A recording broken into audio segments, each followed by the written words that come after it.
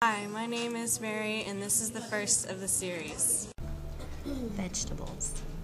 Vegetables are an important and healthy part of the American diet. Broccoli.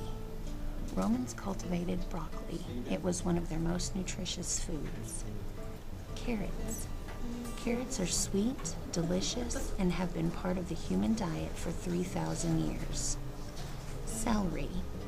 It takes more calories to chew celery than it actually contains. Sweet potatoes. In America, we grow 1.8 billion sweet potatoes every year. Eggplant. This is an American eggplant, but there are also Asian and Japanese varieties. Onion. Onions are high in fiber, vitamins, and can be sweet or strong. Spinach. Spinach makes you strong and contains a lot of vitamin C and iron. Squash. Squash comes from the Native American word meaning eaten raw, but it is usually cooked. Asparagus. Asparagus can be green, purple, or even white.